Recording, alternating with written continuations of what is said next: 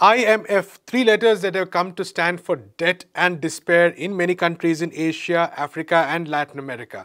Now, the impact of the IMF, which is a shadowy body in Washington, D.C., is felt in our day to day life in the cost of electricity, in the cost of fuel, in the recruitment of teachers, in the construction of hospitals. All of these are affected by the policies and prescriptions of the IMF. But why is the IMF still a thing? Why do our countries keep going back to the IMF for more money and go further into debt. To understand some of these issues, we are talking today to Grieve Chelwa. He's the Director of Research at the Institute of Race, Power and Political Economy at New School. He's, the, he's one of the members of the Collective on African Political Economy and he's also one of the authors of the latest tricontinental dossier called Life or Debt, which actually details Africa's experience with the IMF and how the IMF has pushed Africa into deeper misery. Grieve, thank you so much for coming to People's Dispatch, for talking to us and giving us an idea of what's happening with uh, the issue of debt, especially in the global south. Now, we're talking about the IMF today, and uh, there have been a lot of cases of the IMF, you know, playing a role in countries in Africa and Asia, for instance. You've written about Zambia and Ghana. Uh, closer to where I am, for instance, we have Sri Lanka and Pakistan, all of them wrestling with this issue of the IMF and, how, and, the kind of conditions it's imposing. But just for the benefit of our viewers, we kind of, I mean, it's, I think economists like you have been warning and predicting and, uh, you know, been vindicated for years when you said that the IMF brings with it austerity policies. There's, you know, a reduction of government expenditure, privatization, the removal of subsidies, all of which directly affect the poorest people in the country who are presumably the vote bank of many of these governments. So why is it that the governments are forced to go back to the IMF again and again and again? Maybe you could even take Zambia as an example. But how are countries relentlessly caught in this trap of the IMF? Uh, th thank you for having me on this uh, program, and it certainly is an honor. Uh, yes, I mean, the IMF has been a perennial problem for many countries in the South uh, for a very long time uh, we have to understand that the idea itself behind the creation of an international monetary uh, agency is a laudable idea, right? As you know, we all live in a world that is interdependent. We all should rely on one another. Uh, and certainly some countries sometimes go through financial problems and other countries tend to be doing well. So the idea of having an international agency to coordinate monetary crisis is a laudable one. And I think, uh, uh, but Sadly, the IMF has not been that type of agency, right? In many ways, the IMF has not been the agency that comes in to coordinate and help resolve these kinds of crises, but has been an agency that has added, I think, to the instability, has, has been a, the kind of agency whose solutions do not permanently fix uh, the, the, fundamental reasons for crisis, but actually trap countries in this perpetual cycle of debt. Uh, and why why is that the case? Uh, I think part of the answer, and maybe uh, a main answer, is geopolitics. Uh, the IMF has certainly been a tool of uh, American foreign policy, uh, to be specific, Western foreign policy, but certainly American foreign policy to be specific. There's a reason why the IMF is situated in Washington, headquartered in Washington, D.C., right? So I think that's the problem. The, an idea for an IMF an agency to coordinate crisis is a laudable one. But the problem is that the current agency that we have, the International Monetary Fund, is very much uh, a tool of American imperialism. And this is why we are caught in a perpetual cycle of debt, right? We get into a debt crisis. The IMF comes in to say they're coming to resolve the crisis. But a couple of years later, we're back again because the IMF does not want to sort out the fundamental reasons why we get ourselves into debt precisely because if the IMF does that, then the IMF ceases to be a tool of American foreign policy. So I think that I hope that helps in in explaining some of these factors. Right, that's a very uh, interesting answer, and sort of to sort of elaborate that. Let's take the case of Zambia. Uh, recently, I think a 1.3 billion, that is maybe late last year, 1.3 billion dollar package was approved for Zambia, but this is definitely not Zambia's first IMF loan. There have been cycles of debt, as you pointed out in the dossier. And you also pointed out the role of, for instance, euro bonds and uh, you know devices like that in perpetuating that debt. So could you maybe take us through the case of Zambia and why it has continued to be in debt, uh, so to speak, in a sense? Why is it not able to repay these debts? Uh, so why is Zambia in a debt crisis? And you're right, this is the 13th time that Zambia is going to the IMF, if I if my memory serves me right. Um, so there, there are some fundamental issues here.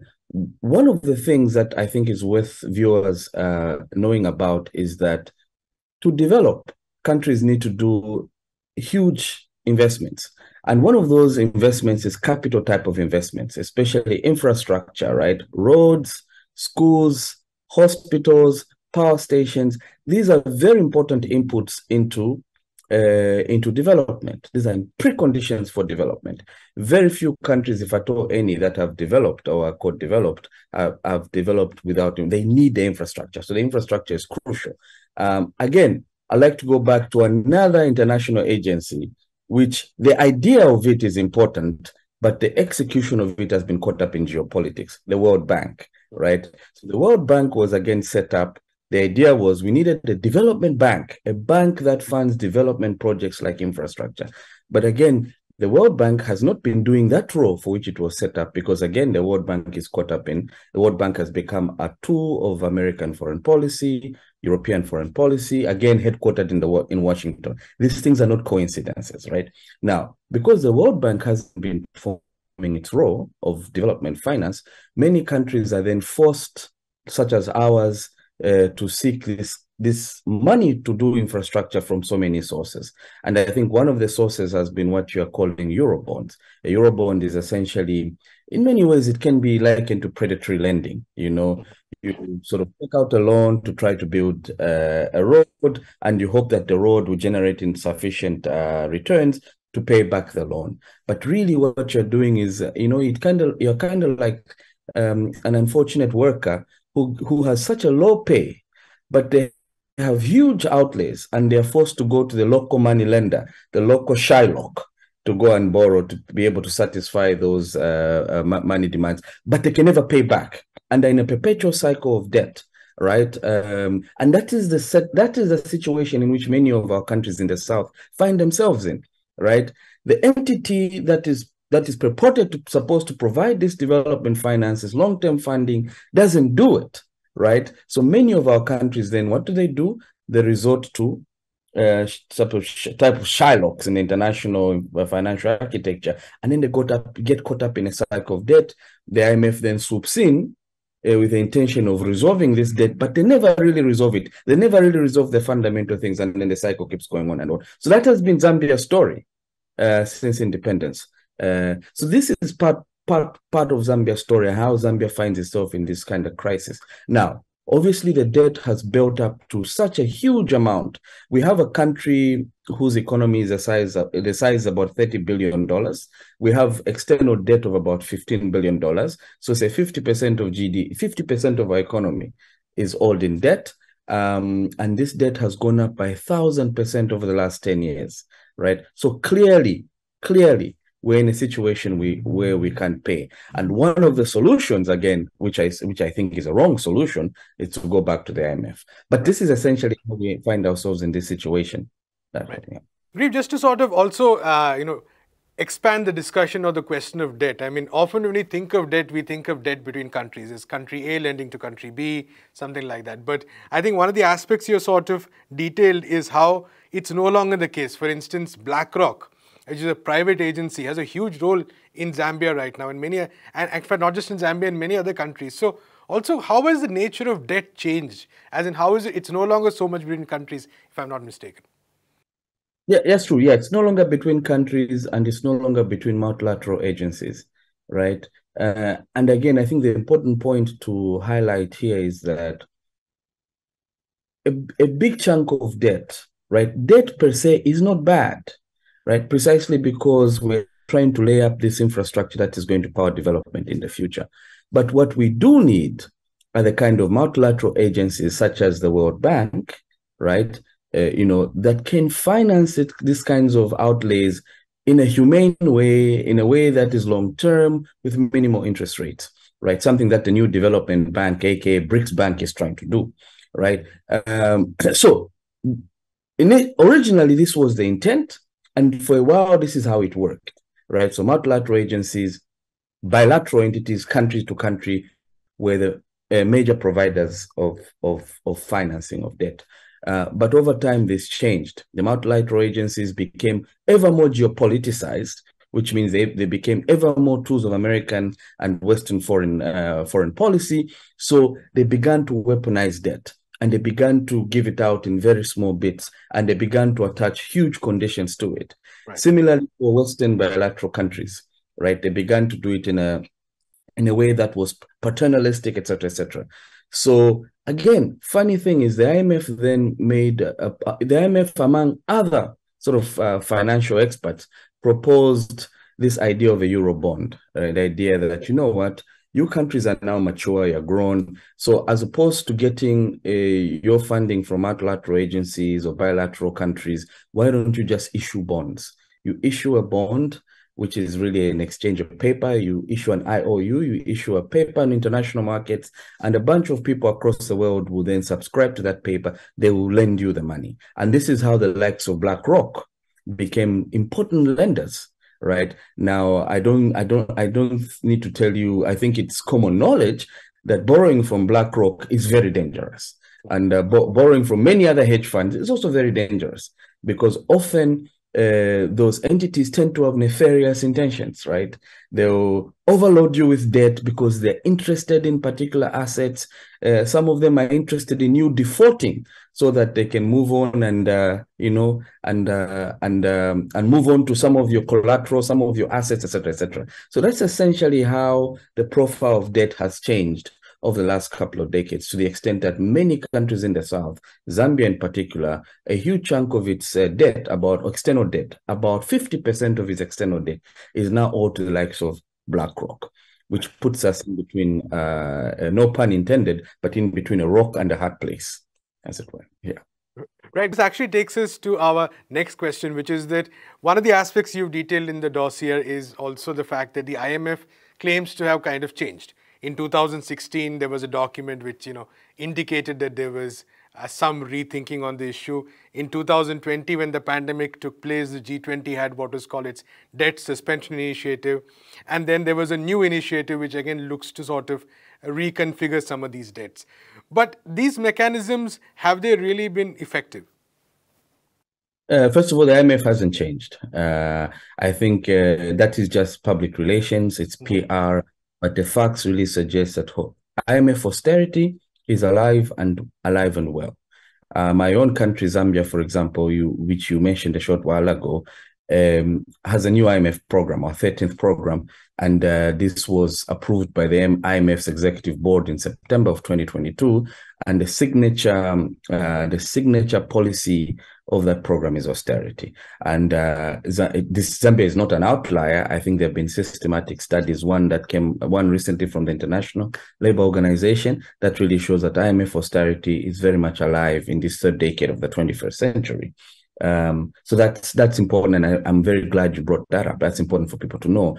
And again, it goes back to the question of why does IMF do austerity? Because the IMF is a tool of American foreign policy, Western countries' foreign policy. Austerity is a way to make sure that you are forever dependent on debt. That is the way it is. Right? If you're forever dependent on debt, and you're forever dependent on the type of debt that takes you back to the IMF. So people, I, it's important to do that, to, for, to put that across. Yes, and then there are mechanisms which have been set up to resolve the debt crisis, right? So we've got a debt crisis. How do we resolve it? And you talked about a debt service suspension initiative. This this happened during COVID, and the idea again was very laudable. Let us suspend debt service on those countries that have a huge burden given what's going on with COVID, right? Many Western countries did uh, did not actually participate in this DSSI. Uh, China, uh, interestingly enough, was a one entity, you know, that uh, suspended debt service for many countries that were indebted. So DSSI did not work uh, as intended.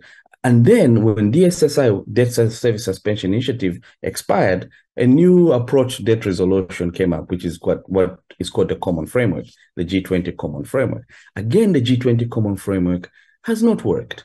Uh, one of the reasons why the G20 Common Framework has not worked is, uh, is that uh, A, the profile of debt has changed. The G20 Common Framework proceeds as though most of the debt is country to country or multilateral. But like you said a, uh, a short while ago, debt in this uh, third decade of the 21st century, the profile is different. We've got the likes of the BlackRocks and so on and so forth. But these do not participate, which makes the G20 common framework moot, right? And also there's geopolitics, right? So obviously you know, China has arisen as a new lender. Uh, the traditional old, old school uh, lenders and uh, are engaged in a tussle with China for the control of the global south. So again, countries in the global south are caught in the middle of this crossfire. So again, the G20 common framework has not worked.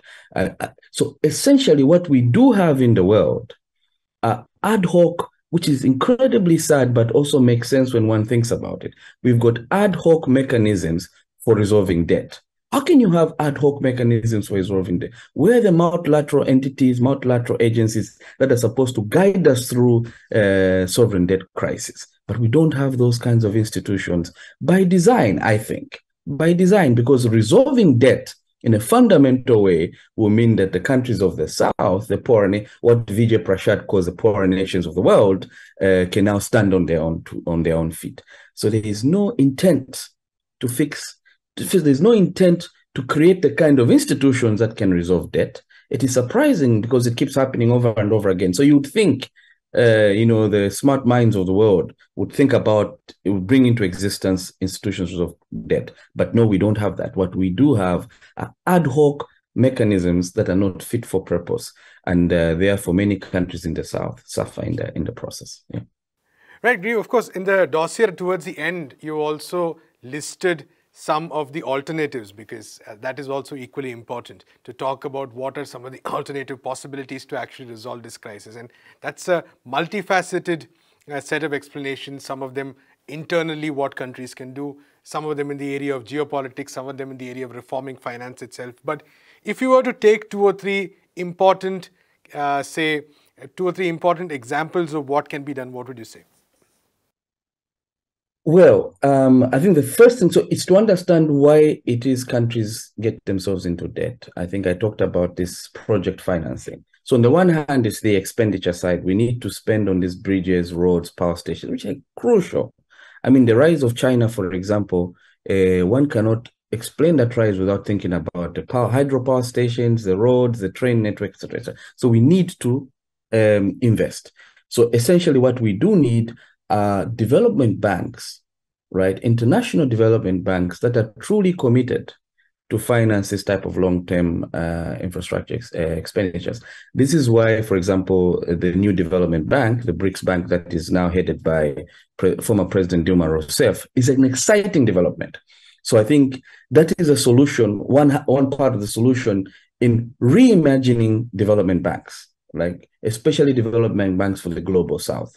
And essentially, one of the arguments we make in the dossier is can we see more BRICS bank like entities that are uh, popping up?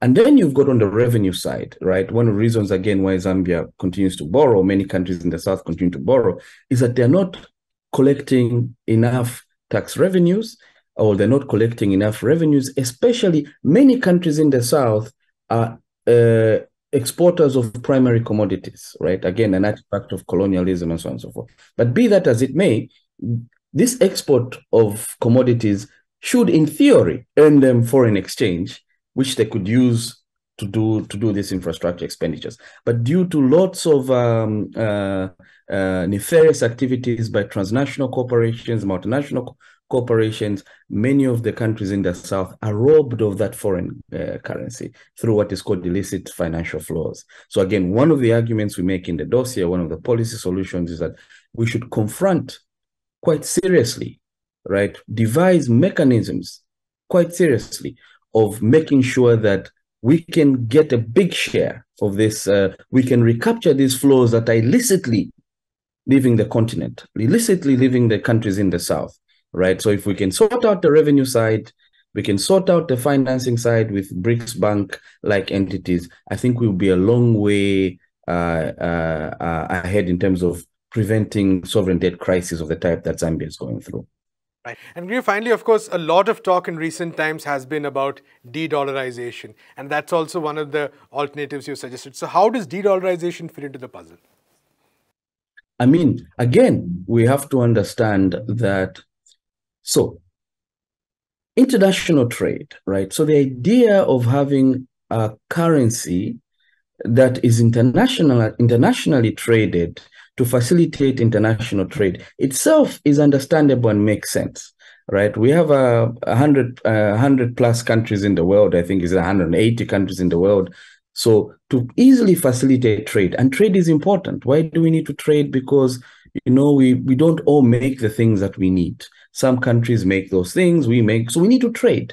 And the idea of having a currency that facilitates this trade in an effective, efficient way is a laudable one. Now, the problem we have is that the current currency that does that is the US dollar, which again is weaponized by the US as a tool of foreign policy, right? They use it to impose sanctions. They use it to do all sorts of things. They can shut you out. Today, they will just say you're shut out of the international payment system and your people will suffer. So the dollar has not served that purpose of peaceably facilitating international trade. And that is why there are all these conversations and discussions now, quite impressive, I think, and quite encouraging to de-dollarize, which is to say, can we, A, either find ways of trading using our own currencies? For example, they need what is happening between, uh, I think, China and uh, uh, Russia, uh, India and Russia, Brazil and China. There's this discussion of swaps, currency swaps. So just swap our currencies and then exchange our commodities uh, likewise. And then there's also the conversations, can we come up with maybe regional currencies, new types of currency uh, currencies that can facilitate this type of trade, that the kind of currencies that are not uh, susceptible to, uh, that are not going to be weaponized uh, as tools of foreign policy. So I think this is why the conversation of the, de-dollarizing, so for the purposes of trade, it's also uh, an important conversation because many of our countries have debt that is in dollars, right? It is really debt that is in dollars. Um, and if we could find mechanisms of de-dollarizing, if we could find mechanisms of swapping, you know, Zambia wants to build a, a road or wants to build a bridge or power station, and then it swaps some copper for capital imports from China, then we can avoid this problem of debt in dollars, which is often weaponized. And it's often used as a tool of American foreign policy. And uh, exactly. So, this is why this conversation of de-dollarizing is particularly important when one thinks about debt. Thank you so much, Grieve. On that hopeful note, we'll end this conversation, but we'll definitely get back to you for further analysis, for further insights into both the question of debt, but also I think very important, like you said, the question of alternatives, the question of how to break these chains that have for too long, I think, enmesh the countries of the global south. Thank you so much. Thank you so much for having me.